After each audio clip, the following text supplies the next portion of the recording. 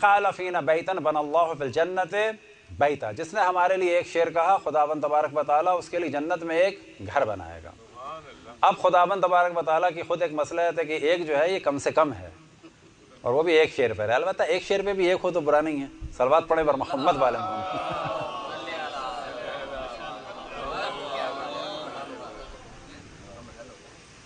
تو جتنے ہمارے شعرا حضرات ہیں، ان سے جو ہے وہ تعلق رکھنا چاہیے کہ پلاٹنگ کے وقت جو ہے وہ یاد رکھے۔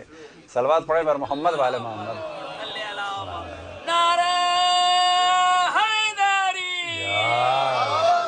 البتہ اس کی ایک اور اہمیت آپ کو بتائیں کہ حضرت آیت اللہ العظمہ خوئی رضوان اللہ تعالیٰ علیہ کہ جن کا درس خارج اس پوری غیبت صغرا اور قبرا میں ان سے بڑا کسی کا نہیں تھا۔ سب سے زیادہ موضوعات پہ درس خارج سب سے زیادہ طویل درس خارج اور سب سے زیادہ جو علماء انہوں نے پیدا کیے انہوں نے کیے۔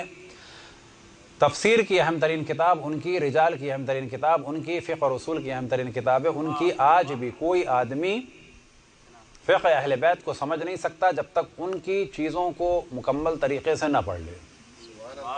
آج بھی فائنل جو رائے ڈسکس ہوتی ہے تفصیل میں بھی، رجال میں بھی، فقہ میں بھی، اصول میں بھی، کہا جاتا ہے کہ انہوں نے یہ کہا، انہوں نے یہ کہا، اس کی، ان کی بات پر یہ دلیل تھی، ان کی بات کا یہ اعتراض تھا۔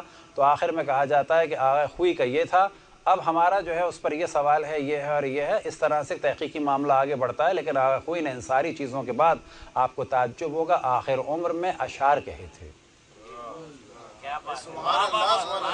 اور انہوں نے یہ خالصتاً نیت کر کے کہے تھے کہ اس فضیلت سے میں محروم نہیں ہونا چاہتا۔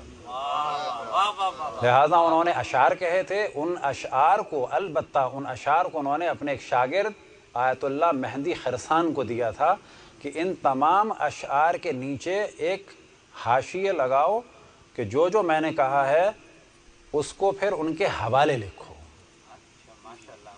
مثال کے طور پر، جو ان کا پہلا شعر میرے ذہن سے نکل گیا کہ تقریباً اس قسم کا تھا، انا ابو القاسم ابن علی اکبر لست بشاعر تقریباً اس کا کہ میں ابو القاسم ابن علی اکبر جو ہے شاعر نہیں ہوں، لیکن مثلاً میں چاہتا ہوں کہ اس صف میں شامل ہو جاؤں، تقریباً اس قسم کا۔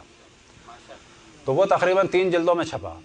مثال کے طور پہ اس میں جب اہل بیت کہا تو اس سے ریلیٹڈ آیتیں اور پھر روایات۔ پھر اگر کہا مثال کے طور پر تتھیرہ آیا تو آیت اور روایات۔